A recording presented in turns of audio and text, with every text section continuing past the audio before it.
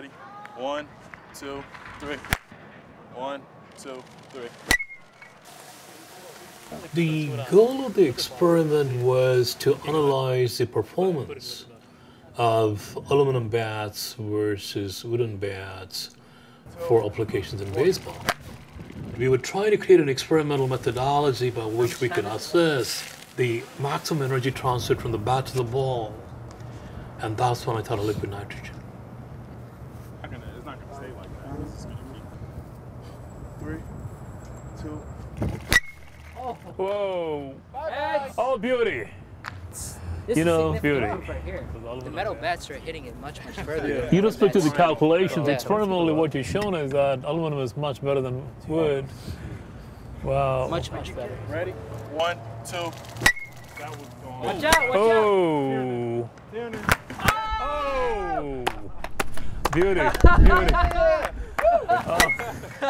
Yo, that ball flies off this bat. It flies.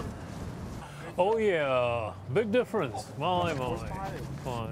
If you freeze a ball and if the ball exploded, that's good news for you.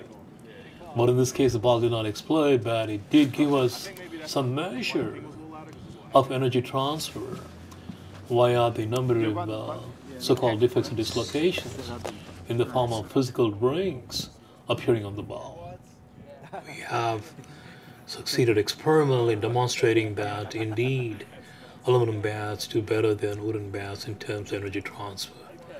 Um, I suppose the apples were for fun because both the wooden bat and the aluminum bat did have a pretty huge impact on the frozen apples. We did not bother to count the number of pieces because there were too many.